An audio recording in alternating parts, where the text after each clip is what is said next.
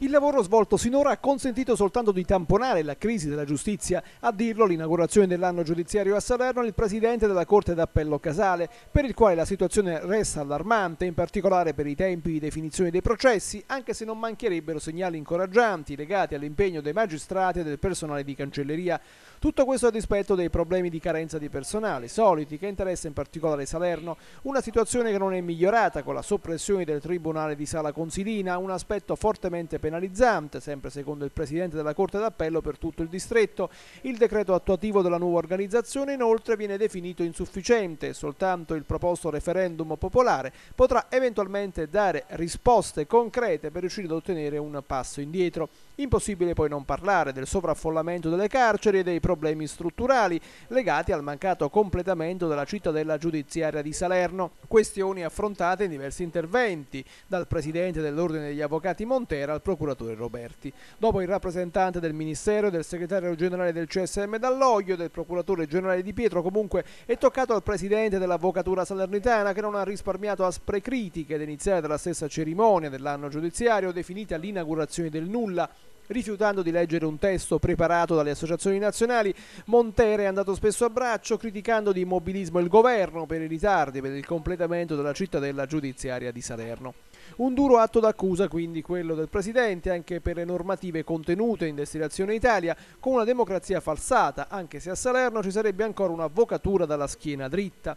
Però io vorrei sapere perché ad ogni inaugurazione interviene un rappresentante diverso rispetto agli anni precedenti mi sia consentito chiedervi, ma quanti siete?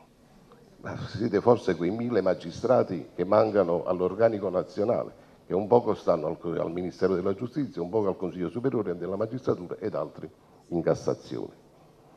Ma cosa fate, oltre a leggere discorsi scontati e stereotipati, formulare numeri di telefono per far caldeggiare all'inadeguato ed anche ingombrante Ministro un occhio di riguardo nei confronti di qualche eccellente pregiudicato che col denaro sottratto ai risparmiatori ha probabilmente retribuito il di lei figlio? Un intervento il suo dopo il quale tutti gli avvocati che portavano una coccarda al petto hanno lasciato l'aula in segno di protesta contro il Ministero di Giustizia del governo.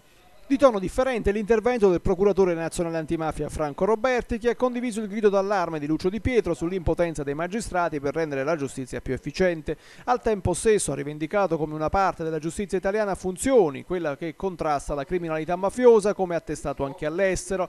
Restano invece i problemi della giustizia ordinaria in particolare civile che se funzionasse a dovere contribuirebbe a contrastare la criminalità e farebbe anche ripartire l'economia. Se funzionasse, se, se fosse efficace, se fosse fosse tempestiva darebbe anche una grande mano nel contrasto alla criminalità e sarebbe soprattutto fattore di sviluppo. Quello che forse si dice poco nel nostro Paese è che fin quando non ci sarà una giustizia che funziona, non ci sarà mai un vero sviluppo economico, non ci sarà mai crescita sociale ed economica nel nostro Paese. Sul sovraffollamento carcerario poi Roberti ha semplicemente auspicato la costruzione di carceri più adeguate.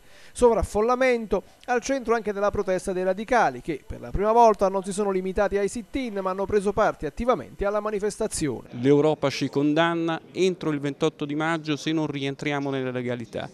Il presidente napolitano ha un urlo nel suo messaggio e fatto obbligo. E il 29 parleremo di questo. Noi interverremo per parlare del messaggio del Presidente della Repubblica e per sostenere l'amnistia, l'amnistia per la Repubblica e l'indulto.